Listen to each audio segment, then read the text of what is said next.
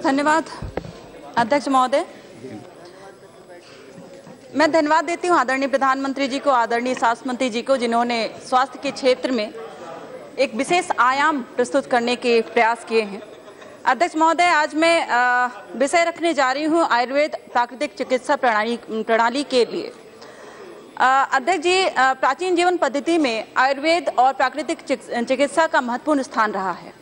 हमारे देश में ऋषि सुश्रुत और धन्वंतरी और चरक जैसे आयुर्वेद के ज्ञाता रहे हैं जिनके कारण आयुर्वेद को मात्र चिकित्सा पद्धति नहीं बल्कि हमारे जीवन संस्कृति का आधार माना जाता है अध्यक्ष जी यह प्रकृति पर हमारे श्रद्धा और समन्वय का ही परिणाम रहा है कि आज हमारे देश में औषधियों एवं जड़ी बूटियों का विशेष भंडार रहा है। Okay. मुझे थोड़ा सा समय दे मैं अपनी बात को रख लूँ अध्यक्ष जी। धन्यवाद आपने समय दिया मुझे।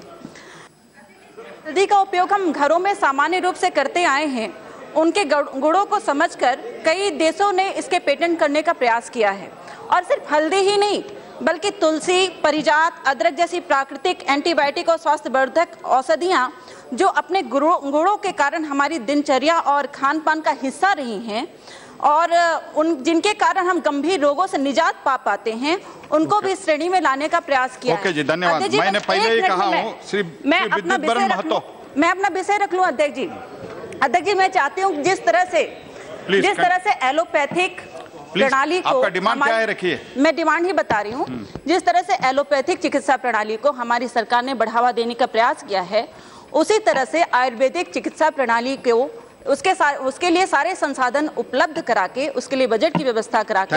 आज उसे व्यवस्थित करने का और स्थापित करने का प्रयास करना चाहिए